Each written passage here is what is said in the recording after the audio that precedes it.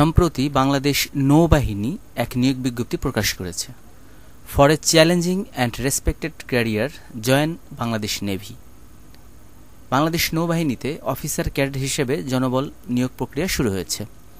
আমি নিয়োগ বিজ্ঞপ্তির সম্পূর্ণ ভিডিওটি আপনাদের সামনে উপস্থাপন করছি, আশা করছি সঙ্গেই থাকবেন এবং সেই সাথে একটি রিকোয়েস্ট থাকবে, যারা সর্বশেষ চাকরির আপডেট পেতে চান তাদেরকে বলব অবশ্যই বিডি জবস অ্যালার্ট চ্যানেলটিকে সাবস্ক্রাইব করে বেল নোটিফিকেশনটি অন করে রাখুন।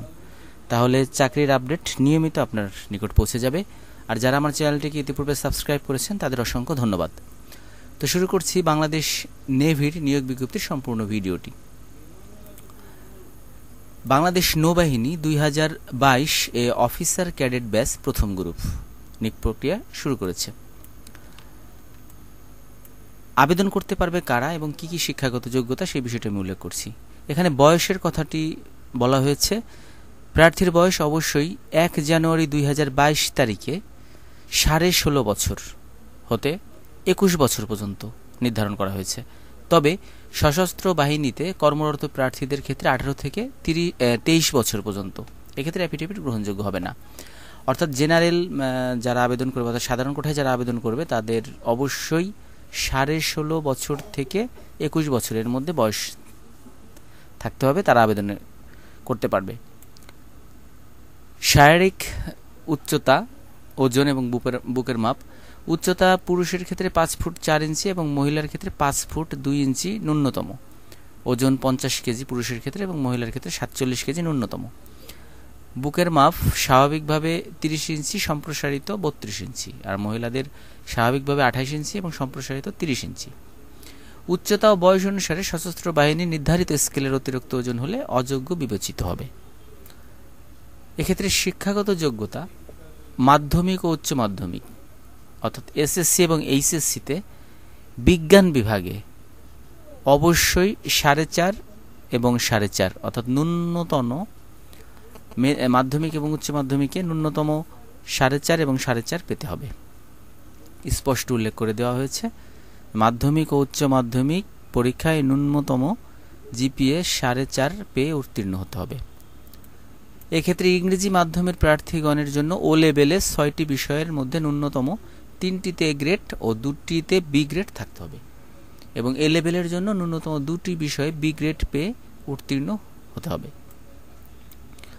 এখানে আরেকটি জিনিস বলে দেওয়া হয়েছে, দুই হাজার একুশ সালের এইচএসসি পরীক্ষার্থীগণও আবেদন করতে পারবেন।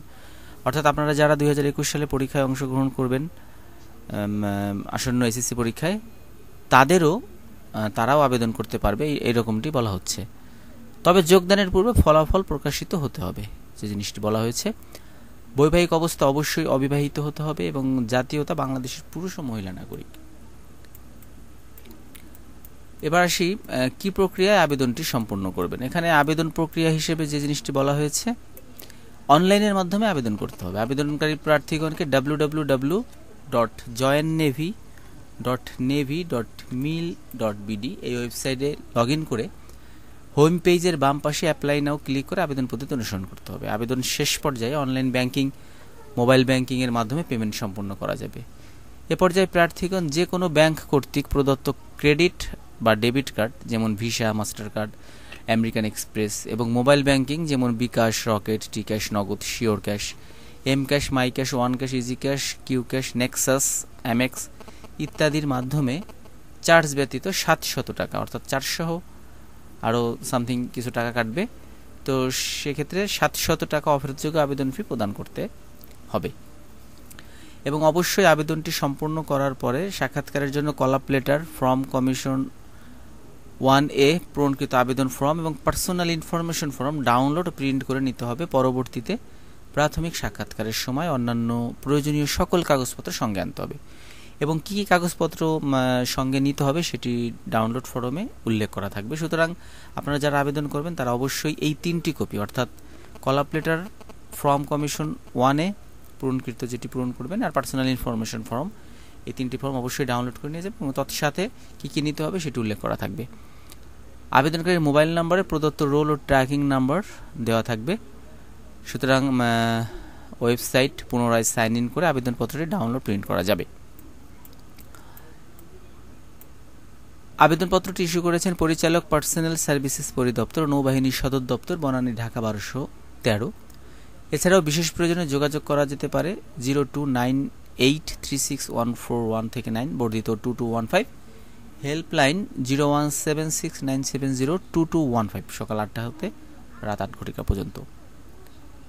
বিশেষ দ্রষ্টব্য শুধুমাত্র অনলাইনে আবেদন করা যাবে। আপনারা বুঝতেই পারছেন, অনেকে এই কথাটি প্রশ্ন করেন যে আমরা কি সরাসরি আবেদন করতে পারব কিনা। আসলে এখানে স্পষ্ট করে বলে দেওয়া হয়েছে যে শুধুমাত্র অনলাইনের মাধ্যমেই আবেদন করা যাবে এবং আবেদনের শেষ তারিখ বিশ মে দুই হাজার একুশ। এছাড়াও বিস্তারিত জানতে W dot join navy dot navy dot mil dot log in করা যেতে পারে।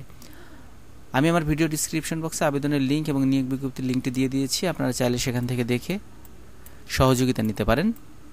আর সেই সাথে লগ ইন করার পরে আমরা আরেকটা জিনিস দেখানোর চেষ্টা করছি যে অনেকে প্রশ্ন করেন যে আমি কি অফিসার ক্যাডেট হিসেবে যোগ্য কিনা, আমি কীভাবে বুঝব বা আমার ইয়ার আমার সব কিছু সঠিক আছে কিনা বা আমি আবেদন করতে পারব কিন্তু কীভাবে বুঝব? তো সেই ক্ষেত্রে তাদের অবগতির জন্য বলছি I am eligible for officer এই ট্যাবটিতে জাস্ট চেক নাওতে ক্লিক করলেই আপনারা এই ফর্মটি পূরণের মাধ্যমে সহজে জানতে পারবেন যে আপনি আবেদনে যোগ্য কিনা।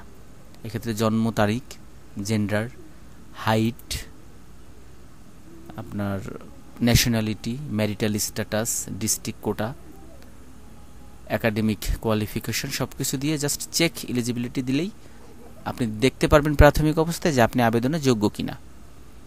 তো এটি W W W dot join navy dot mil dot video ওয়েবসাইটে প্রবেশ করার পরেই আপনারা ফার্স্ট পেজ লগ ইন করার সাথে সাথে নিচের দিকে স্কল করলে দেখতে পারবেন যে officer currently open circulars officer cadet batch দুই হাজার বাইশ A group one apply now click করলে আবেদনের লিঙ্কে ঢুকতে পারবেন।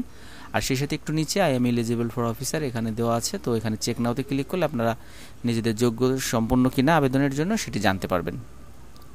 আশা করি নিয়োগ বিজ্ঞপ্তির সম্পূর্ণ বিষয়টি বুঝতে পেরেছেন। ধন্যবাদ। বিডি জবস অ্যালার্ট চ্যানেলের সঙ্গে থাকার জন্য।